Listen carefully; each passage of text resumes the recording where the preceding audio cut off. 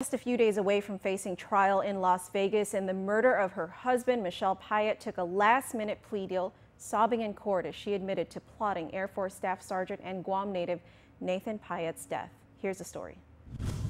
It was nearly five years ago when Air Force Staff Sergeant Nathan Paet was gunned down in his garage as he stepped out to head to work. Las Vegas Metro Police were able to piece the story together quickly and close the case. Paet's wife, Michelle Chaco Paet, was having an affair with an ex convict named Michael Rodriguez. And in that twisted love affair, Michelle and Rodriguez plotted Nathan's death over the course of six months, according to police. Michelle would collect $650,000 in life insurance benefits as a result. Police were able to obtain cell phone records showing the text messages between Michelle and Rodriguez just minutes before Nathan was shot and killed. They even had a confession.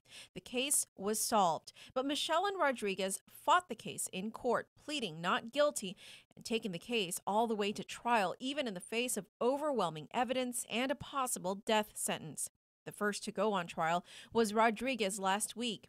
He was found guilty, but yesterday, Rodriguez took a plea deal to avoid the death penalty and get life without parole instead.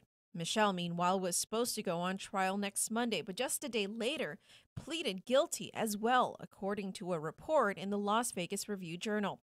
The report states that Michelle sobbed in court as she apologized to her in-laws, saying, quote, I'm sorry, I love you guys and I love my kids, and I hope that this is closure for you guys.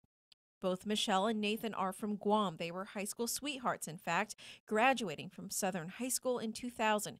The two have four children together, all of whom are living with Nathan's parents here in Guam.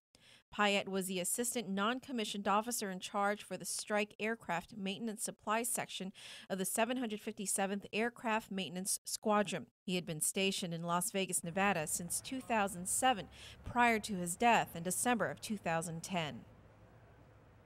There are still two other defendants in the case Corey Hawkins, who prosecutors say was with Rodriguez when Nathan was killed, and Jessica Austin, who's believed to have helped conceal evidence in the case. Rodriguez's sentencing hearing is scheduled for November 17, while Michelle Paet's sentencing is set for December 14.